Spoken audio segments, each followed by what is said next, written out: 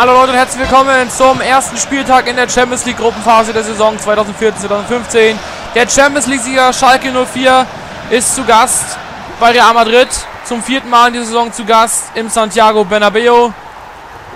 Einmal schon gegen Madrid im äh, Viertelfinale, glaube ich, war es.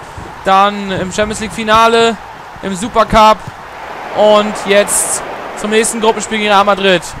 Also der Champions League Sieger recht gut in die Saison gestartet. Sieben Punkte aus drei Spielen.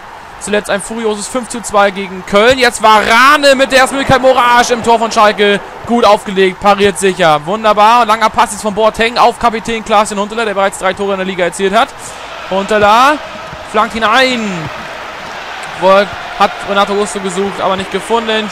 Sturmpartner Hunteler wieder Niklas Bentner, der am letzten Transfertag aus Arsenal London für 6,25 Millionen Euro kam. Da ist er. Hat letzte Woche sein Debüt gegeben im Schalke Trikot in der Startelf. Gleich getroffen zum 1 zu 1. Isco. Schade, kommt nicht vorbei. Also Bentner profitiert vom ja, Heimweh.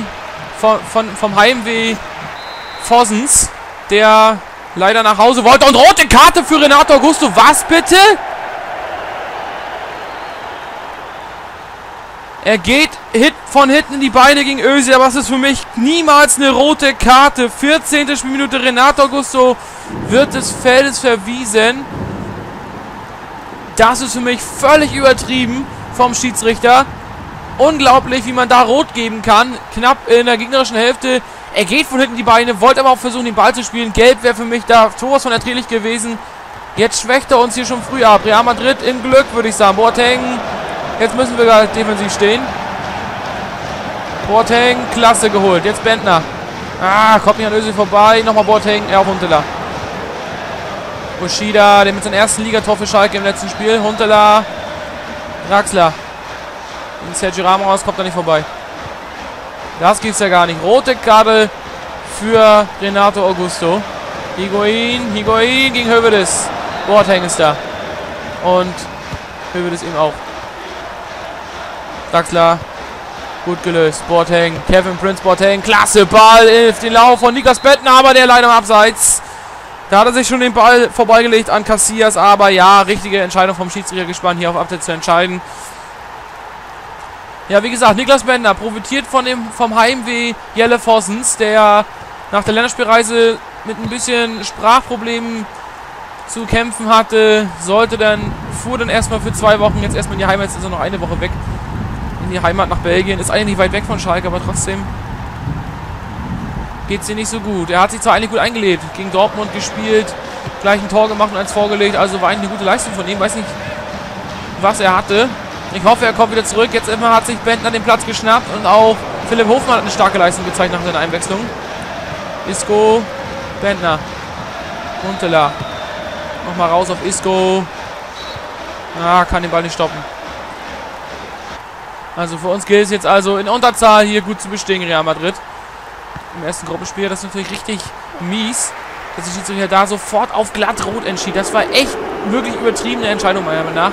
Sicherlich geht er von hinten die Beine. Wenn es vor unserem Strafen gewesen wäre, wär, hätte ich gesagt ja, aber das war unnötig, da rot zu sein. Bentner gut verlagert den Ball, Büttner und Draxler. Langer Ball jetzt auf Huntela. Cassias ist draußen. Und trifft sogar den Ball mit Di Maria. Higuain gegen Boateng. Klasse vom Boateng, der wieder super abräumt. Der auch Bo äh, Higuain wieder aus dem Spiel nehmen soll. Huntela, super. Bentner. PP dazwischen. Kidira, PP. Gut rausgespielt. Cristiano Ronaldo gegen Isco. Gut geblockt von Isco. Und Boateng ist wieder da. Bentner. Schade, legt sich mal zu weit vor. Varan ist da zum Klären. Higuain, Kedira. Und Ronaldo ist da. Wieder gegen Isco. Klasse von Isco. Schießt so Ronaldo an und holt den Einwurf für Schalke raus. Super Leistung. Gute Defensivarbeit vom spanischen Supertalent von Isco. 20 Millionen Euro aus Malaga gekommen. Aber da hat er ein bisschen technische Probleme. Einwurf real. Ronaldo, Ushida da. Wieder Isco, klärt. Wunderbar, Huntela, Bentner. Nochmal Huntela. Nochmal Bentner. Bentner raus auf Isco. Schade. Ist nicht dran. Gut gedacht. Also wir haben ein paar Probleme jetzt, klar. Unser Spielmacher fehlt mit Renato Augusto. Langer Ball nach vorne. Das ist ein Ding für, für den Brasilianer Arthur Moraes. Abschlag von Arthur. Bentner gut verlagert. Ushida links raus auf Draxler. Draxler gut gesehen, dass Isco da ist. Isco. Mitte ist Bentner frei. Bentner. Bentner. Bentner ist der Schalke in Unterzahl. Jawohl. Niklas Bentner. Der Last-Minute-Transfer als Backup gekommen. Profitiert von Heimweh der Mitspieler. Und trifft hier zum zweiten Mal im zweiten Spiel für Schalke. Wunderbar gemacht. Klasse Vorarbeit von Isco. Klasse Pass zuvor von Julian Draxler. Der Champions League-Sieger trumpft hier wieder mal auf und zeigt, warum man Champions League-Sieger ist gegen Real Madrid. 1 zu 0 Führung zur Pause in Bernabeu. So kann es doch weitergehen. Halbzeitansprache. Das sieht sehr gut aus mal wieder. Klasse, Leute. Isco müssen wir loben für diese klasse Vorlage. Genauso wie Draxler. Motivieren wir. Bentner war auch super. Und Oshida macht das auch stark bislang da auf als Rechtsverteidiger mal wieder. Boateng eigentlich auch super. Die motivieren wir immer noch gleich mal. So, Massagen gibt es einmal für Büttner, einmal für Boateng, einmal für Draxler und dann geht es weiter mit der zweiten Halbzeit. Super Leistung von unserer Mannschaft wieder. Isco, der Vorlagengeber. Bentner, Boateng. Ushida gegen Ronaldo. Ronaldo setzt sich durch. Higuain. Higuain. Schlechter Pass. Büttner ist da. Draxler. Wieder Bentner. Isco. Ah, schlecht gemacht von Isco. Passt zu wenig Präzision. Oshida hat Ronaldo verlassen. Ronaldo ist jetzt da. Kirchhoff kann den Ball nicht blocken. Özil. Aber Hövedes ist da, aber gibt wieder Freistoß für Real. Hövedes hat wohl drüber gehalten. Freistoß für die Königlichen. Cristiano Ronaldo. Moraes. Oh, Isco. Jetzt hat er den Ball. Sehr schön gemacht. Klasse Parade von unserem Keeper mal wieder. Und Bentner mit dem Fehlpass. Ramos nochmal Real. Kirchhoff, klasse vor. Higuain. Bentner. Huntela links auf Draxler, genau. Draxler findet wieder Bentner. Und das war ein Foul. Und das kann man auch rot geben für, oder was? Nicht mal gelb gibt es dafür. Also sieht man wieder die willkürliche Entscheidung des Schiedsrichters. Freistoß. Klaas-Jan Huntela. Ach, wir haben wieder vergessen, Isco einzustellen. Nein, nicht Depp. Huntela flankt ihn hinein. War zwar butterweich geschlagen, aber keiner kommt mit der Birne ran. Aber die Schalker-Fans feiern in Bernabeu. Mal wieder. Wie so oft in diesem Jahr. Bentner. Schade, kommt nicht an der Pass. Nochmal Bentner. Higuain. Cristiano Ronaldo. Ronaldo mit dem Dribbling. Higuain. Boateng ist da. Fehlpass aber. Kedira. Nochmal Boateng. Aber Albiol ist da. Die Maria. Wieder Higuain. Higuain setzt sich diesmal durch gegen Boateng. Higuain gegen Hövedes. Higuain! Kommt zum Abschluss und wieder Arthur Moraes. Und wieder Fehlpass im Spielaufbau. Isco. Jetzt hat er es geschafft, den Ball zu spielen. Betten auf Huntela. Huntela spielt zurück. Genauso ist es richtig. Verlagern das Spiel. Und ruhig aufbauen. Huntela, Bentner. Links, äh, rechts raus wieder auf Isco. Gegen Marcelo. Nochmal, nochmal Bentner. Müsste die Lücke suchen auf Isco. Eigentlich mal rechts raus, aber Bentner sucht selber den Abschluss. Jetzt wird es bei uns den Wechsel geben. Für Isco kommt der junge Leon Goretzka zurück ins Spiel. Und Clemens wird kommen für Niklas Bentner. Dafür stellen wir ein bisschen um. Clemens auf links, Draxler auf der 10, Huntela einzige Spitze. Jetzt Doppelwechsel bei Schalke nach knapp 70 Minuten. Dass wir ein bisschen defensiver wieder stehen, dass wir wieder was rausnehmen können. Langer Pass auf Ronaldo. Kriegt er nicht vor der Auslinie und da kommt der Doppelwechsel. Also, Real wechselt auch. Jetzt drücken wir mal alles weg. Also der junge Isco, Torvorbereiter, geht raus. James Rodriguez kommt bei Real Madrid für Mesut Özil. Einwurf jetzt für Schalke. Higuain, ja, das war nix. Ronaldo schon irgendwie im Abseits an der Stelle. Moral, langer Abstoß auf Draxler. Rechts, äh, links raus auf Clemens. Clemens gut vorbei an Ramos. Draxler. Huntela startet nicht in die Spitze. Huntela. Nochmal Draxler. Wird gestoppt. Nochmal Huntela. Nur noch Draxler am Ball. Oh, versucht selber nicht den Abschluss. Huntela. Ball gespielt. Das war zu viel Klein-Klein da vorne. Jetzt kommt Konterchance Real Madrid über die Maria.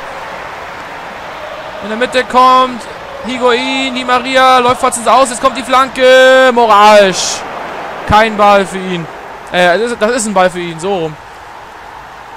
Und der nächste Wechsel wird kommen für Draxler. Roman Neustädter. Auf die Doppel-6 jetzt noch defensiver eingestellt jetzt also. Unsere Mannschaft, ein bisschen Kreativität geht jetzt verloren natürlich. Und La Ramos setzt sich durch im Kopfballduell. Die Maria, Clemens ist dran. Schade, kommt nicht ran. Ushida. Und da ist Goretzka. Huntela. Links raus auf Clemens wieder. Holländischer Meister gewesen letzte Saison mit Twente. Clemens gut durchgesetzt. Huntela gegen Varane. Draxler setzt nach. Draxler! Was für ein Tor zum 2 zu 0! Julian Draxler! Das ist die Entscheidung in diesem Spiel. Real Madrid schafft es nicht in Überzahl zum Tor zu kommen. Draxler schlänzt das Ding in, in den rechten Winkel. Klasse gemacht von Draxler. Jetzt geht er auch raus dafür. Darf er sich feiern lassen. Roman Neustädter rein. Chese kommt für Ronaldo. Kenne ich nicht, den Typen. Chese. Schon mal ihr was von gehört? Ich weiß es nicht. Die Maria. Benzema ist auch neu reingekommen jetzt. Higuain, Kedira, Chese. Und Goretzka mit dem Foul. Marcelo kommt noch ran, aber ja, keine Karte diesmal für Goretzka. Also die rote Karte gegen Renato Augusto nach einer Viertelstunde hat er sich aus der Bahn geworfen. Wir spielen unser Spiel runter. Der Champions League-Sieger hier. Die Maria, Höwe, das ist da. Wunderbar. Uh, Neustädter im Weg. Benzema! Kleine, unkonzentrierte in der Abwehr. Da hätte es fast, fast, ja, da wäre es fast passiert mit dem Anschlusstor. Benzema verzieht aber knapp. Abstoß. Moralisch, Nachzeit läuft. Und Schluss ist! Schalke feiert zum vierten Mal im Bernabeu in diesem Jahr. Wieder erfolgreich beendet das Spiel hier. 2 zu 0 Sieg im ersten Gruppenspiel der Champions League Saison. Klasse Leistung. Mannschaftsfoto haben wir vor dem Spiel vergessen. Machen wir jetzt. Durch Tore von Bentner und Draxler. Die rote Karte, wie gesagt, hat uns nicht aus der Bahn geschmissen. Klasse Leistung. Die Tore sehen wir jetzt gleich nochmal. Und dann sehen wir uns gleich in der Nachbetrachtung wieder.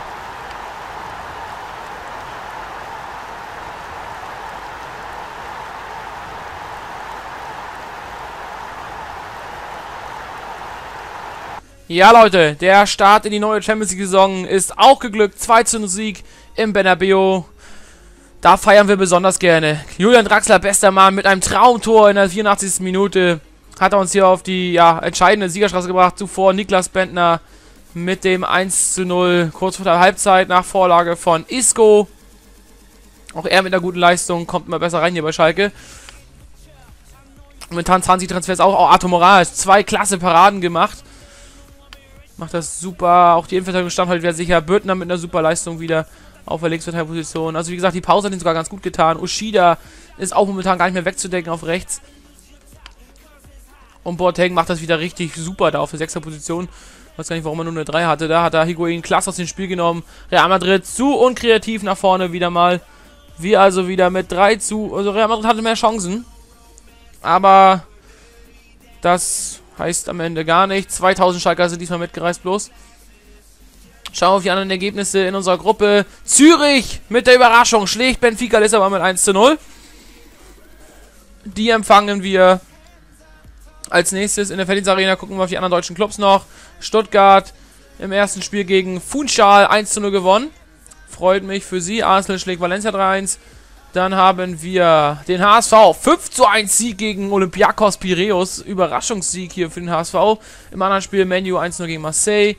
Haben wir noch eine andere deutsche Mannschaft. Genau, da haben wir die Bayern 2-1 gegen Lyon gewonnen. Repo Salzburg schlägt Florenz 3-2. Die haben wir letztes Jahr auch Barcelona geschlagen. Sind also nicht schlecht, die Salzburger. Und das müssten eigentlich alle vier Champions League Clubs gewesen sein. Der Deutschen, schauen wir hier nochmal fix rein. Ist da noch einer bei? Nein, da ist keiner bei. Da ist auch kein deutscher Club bei und auch da nicht. Genau, das waren alle vier deutschen Clubs. Schauen wir auf die Stimmen noch. Zum Spiel, zum ersten Spieltag in der Gruppenphase der Champions League. So, Hansa-Fan sagt, ich habe heute ein gutes Spiel von uns gesehen. Wir waren offensiv ausgerichtet, dadurch dass wurde das spielerische Element belebt. Auch wenn der Spielmacher Augusto nach einer Viertelstunde früh runter musste. Warum saß Garic das ganze Spiel auf der Bank? Hat im Training nicht aufgeregt, muss mehr kommen. Hm, hm, hm. Äh. Hat sich im Training nicht aufgedrängt. Moral sinkt um zwei Punkte. Naja, aber ist so. Muss ich ausregen. Warum hat Christian nicht gespielt? Er wurde eingewechselt. Ihre Aussage ist also Unsinn. Liebe Leute von den Medien. Natürlich ganz großer Quatsch. Danke fürs Interview. Filmlichkeit steigt. Sehr schön. Interviews gab es ja schon lange nicht mehr, wirklich. Jetzt geht's also nach Bremen ins Weserstadion. Das wird auch eine spannende Angelegenheit. Die sind Platz 12. Haben sich letztes Jahr versucht zu finden. Waren lange mit dabei, um einen Euroleague-Platz zu spielen. Dann wieder doch ins Niemandsland abgerutscht. Also Bremen ist kein Selbstläufer. Mal schauen, wie wir das meistern werden. Wir werden wahrscheinlich wieder mit der gleichen Startelf ins Spiel gehen. Obwohl, wir starten wohl mit 10 Mann, denn das hat da richtig gut geklappt. Nein, mal schauen, ob wir Renato Gusto da rausnehmen werden. Erstmal ein Spiel schon oder ob er spielen wird. Eigentlich müssten wir ihn spielen lassen, denn er kann auch nichts dafür, dass er mit Rot unterflog. Das war ja eigentlich keine rote Karte, meiner Meinung nach. Also, hoffentlich schaltet er jetzt hier mal bald um.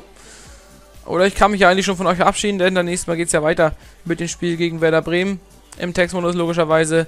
Dann müsste auch bald das nächste Gruppenspiel folgen. Ah, jetzt geht schon weiter. Mal schauen, wie die nächsten Spiele aussehen. Das wird abgeschlossen. Da, ja, jetzt folgt erstmal Ausweichung gegen Bremen. Hoffenheim Heimspiel. Ich glaube, das gönnen wir uns mal, dass wir uns wieder ein Ligaspiel. Das haben wir schon lange nicht mehr gehabt. Ah, doch, gegen, gegen Dortmund, ne? Aber wie gesagt, Hoffenheim gönnen wir uns im 3D-Spiel. Dann geht's Wolfsburg wieder im Textmodus und dann Benfica. Klar, die Champions League-Spiele immer in 3D. Also, das wird noch eine spannende Angelegenheit hier in dieser Saison. Das läuft recht gut bis als Real Madrid können wir also auch mithalten. Gut, Leute, das war's für heute wieder. Danke fürs Zuschauen. Bis zum nächsten Mal. Ciao, ciao.